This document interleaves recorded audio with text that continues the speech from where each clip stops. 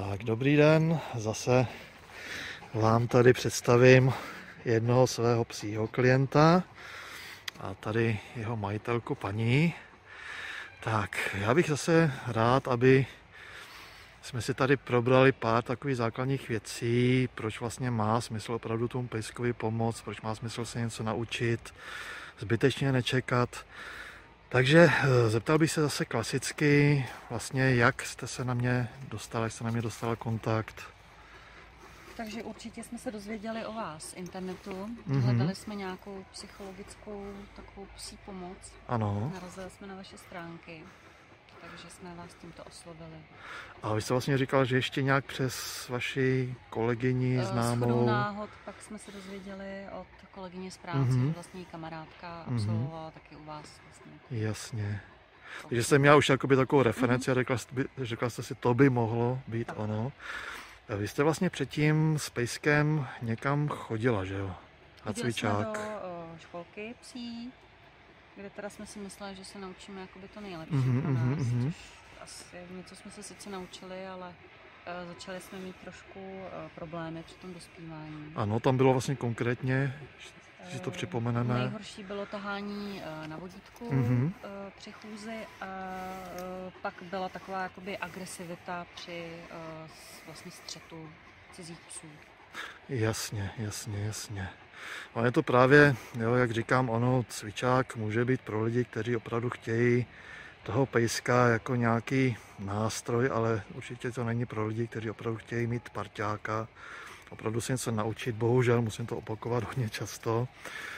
Takže vlastně my jsme se viděli poprvé jenom tak na chvilku na té konzultaci a pak vlastně jste se ke mně dostala na ten individuál. Zase, když jenom tak úplně lehce zhodnotíte průběh teďka vlastně těch tří dnů, dneska máme třetí den, tak co se vlastně změnilo oproti tomu stavu, ve kterém jste ke mně přišla s pejskem? Tak myslím, že jsem dostala lekci i já, Povídejte. jakým způsobem vlastně mm, jakoby spolu eh, tak nějak pracovat, aby jsme to tak nějak spolu zvládli. Ano, Eh, takže musím zapracovat na sobě i já, teda, aby jsme pak fungovali jako ta správná dvojka. ano.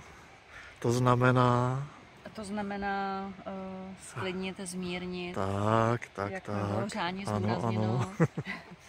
A, Ano. Uh, nebo šmatávat toho psa neustále, chovat se k němu jako k ne Přepnout do režimu, přepnout přepnout do režimu pes. pes a já. Ano, ano. A z hlediska vlastně tady pejska vašeho, tak tam vlastně došlo k jaký změně, k jakým změnám, co třeba vidíte teďka už v téhle době. No, určitě jsme neabsolvovali nikdy takovouhle vycházku takhle v poklidu, aby šel tak krásně uh, na vodítku, takže myslím si, že se jakoby sklidnil a uh, tak nějak jsme se naučili spolu snad teda i, i mě to půjde pracovat uh, na tom, aby jsme mohli absolvovat ty Mhm. vycházky právě takhle v klidu.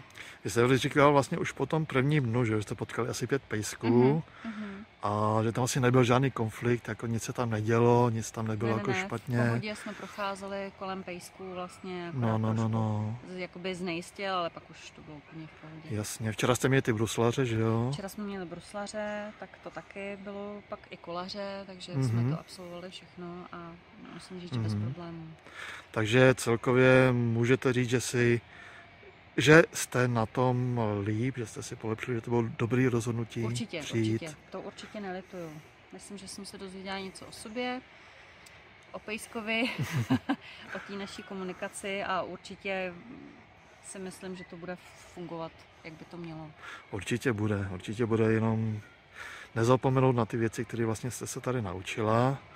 Nezapomenout, že opravdu máte úplně úžasného pejska, který je z mýho pohledu hodně k nepoznání vlastně od toho prvního okamžiku, co jste tady byli.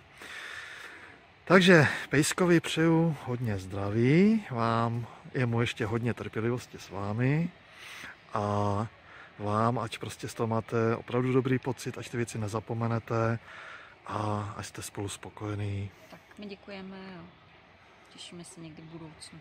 Taky, taky. Tak ahoj kožíšku.